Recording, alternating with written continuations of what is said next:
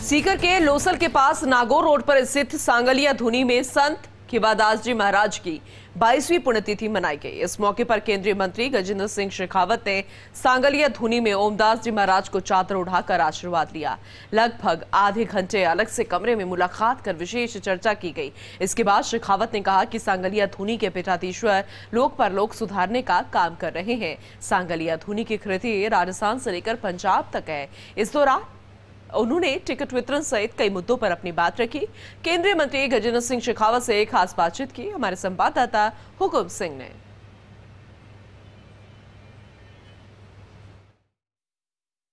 केंद्रीय मंत्री गजेंद्र सिंह शेखावत इस समय सांगड़िया धोनी में है और सांगड़िया धोनी ओमदास जी महाराज से आशीर्वाद लिया खिवादास जी महाराज को नमन किया।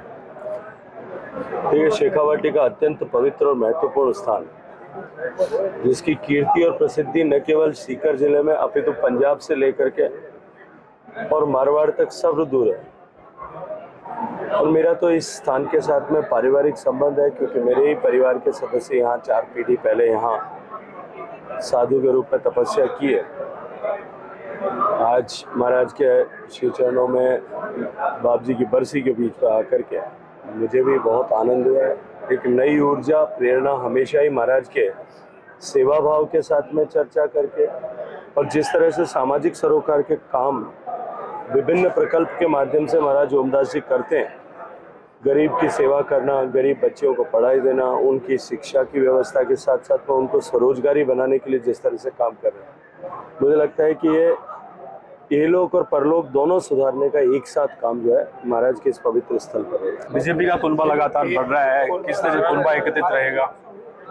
भारतीय जनता पार्टी में कुनबा हमेशा ही एकत्रित होता है। भारतीय जनता पार्टी और उससे पहले जब जनसंघ बनी थी जनसंघ के जमाने से लेकर के आज तक क्योंकि भारतीय जनता पार्टी विचारधारा पर काम करने वाली पार्टी है और क्योंकि भारतीय जनता पार्टी का कार्यकर्ता व्यक्ति का न होकर उस विचार के लिए काम करता है मध्य प्रदेश में पहले फ़ेज़ की टिकटें वितरित हो चुकी है। राजस्थान में क्या माने कब तक?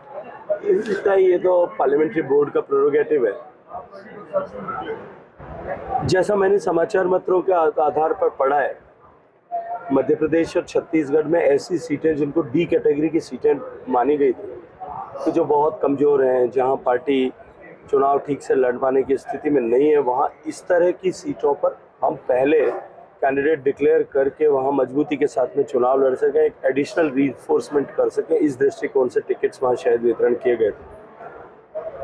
प्रत्यक्ष उस परिप्रेक्ष्य में नहीं लेकिन मैं इसको इस तरह से लेता हूँ कि राजस्थान में कोई डी कैटेगरी की सीट हमारे पास है नहीं। लेकिन आपने सारी की सारी सीटें जो है हमारे पास में जितनी भी है मैं आपको पूरी ज़िम्मेदारी के साथ में कह रहा हूँ इस पवित्र स्थान पर खड़े होकर के। 2013 में हम एक सीट लेकर के आए थे, इक्यासी पॉइंट पाँच परसेंट हमको सीटें मिली थी। अब की बार उससे भी ज़्यादा मिलेंगे।